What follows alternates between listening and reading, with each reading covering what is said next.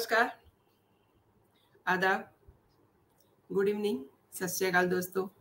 मैं हूँ मनविंदर और मेरे चैनल पे आप सभी लोगों का बहुत-बहुत स्वागत है। मैं सभी का खैर मकदम करती हूँ। देश को तोड़ने वाली ताकतें जो होती हैं, देखो कहाँ-कहाँ बैठ के ऑपरेट कर रही हैं अपनी एक्टिविटीज़ को।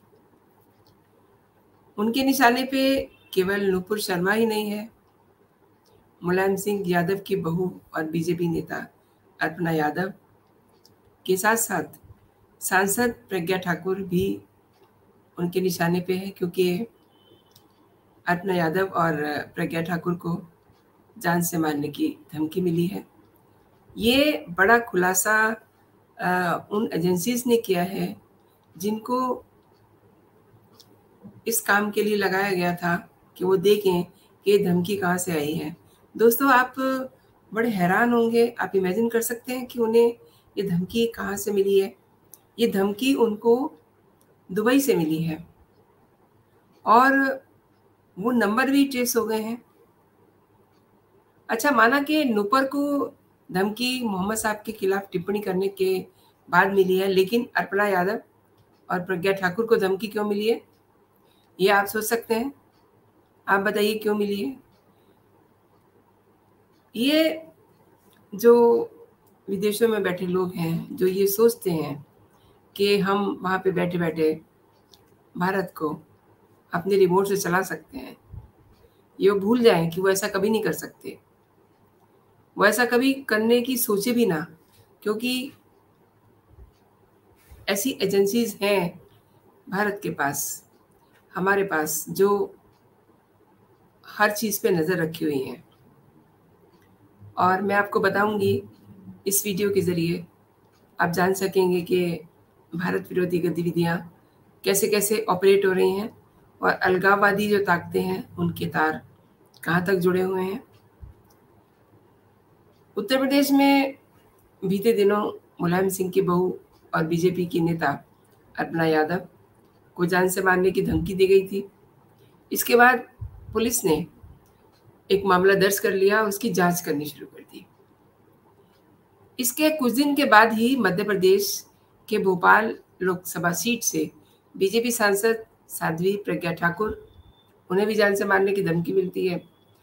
अब अर्पणा यादव और बीजेपी सांसद को मिली धमकी को लेकर के सुरक्षा एजेंसियों ने जाँच में एक बड़ा खुलासा किया है।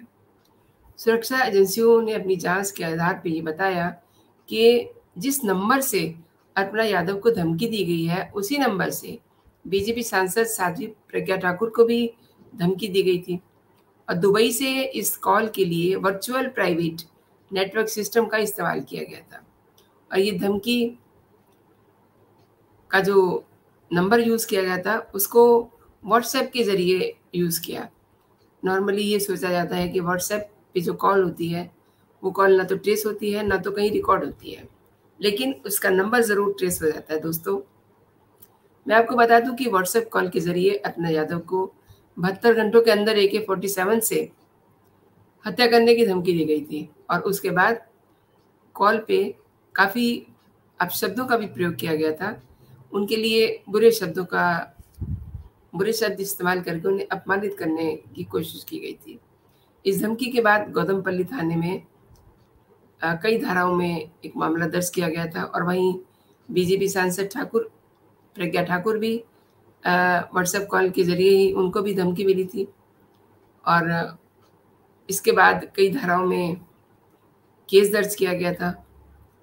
और जो एजेंसीज़, जो हमारे सुरक्षा एजेंसीज इस काम में लगी हुई थी, उन्होंने इसका पटाक्षेप कर दिया और ये पता कर लिया कि ये धमकियाँ किस देश से मिल रही थी, कहाँ बैठे लोग, किस तरीके से धमकियाँ दे रहे थे, किस तरीके से वर्चुअल नंबर्स को यूज़ करके उन्हें जान से मारने की धमकी दे रहे थे। तो दोस्तों, आपको ये मेरा कंटेंट कैसा लगा? आप मुझे मेरे कमेंट बॉक्स में ज़रूर बताइएगा। और अगर आप पहली बार मेरे चैनल पे आए हैं तो आप मेरे चैनल को सब्सक्राइब भी कर सकते हैं।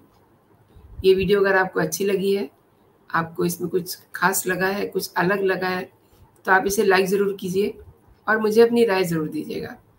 फ़िलहाल इतना ही, आप अपना और अपनों का ख्याल रखिए। जय हिंद, जय भारत।